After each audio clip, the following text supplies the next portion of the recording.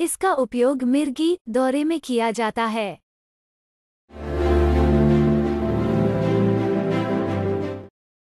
यह एक एंटीपिलेप्टिक दवा है।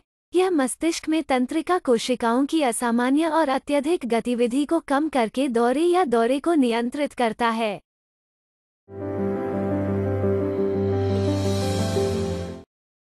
इस दवा को अपने चिकित्सक द्वारा बताई गई खुराक और अवधि में लें। इसे पूरा निगल लें, इसे चबाएँ, कुचलें या तोड़ें नहीं। जेनोक्सा 300 टैबलेट भोजन के साथ या बिना भोजन किए इसे लिया जा सकता है, लेकिन बेहतर यह होगा कि इसे एक नियत समय पर वरीयता के साथ लिया जाए। धन्यवाद।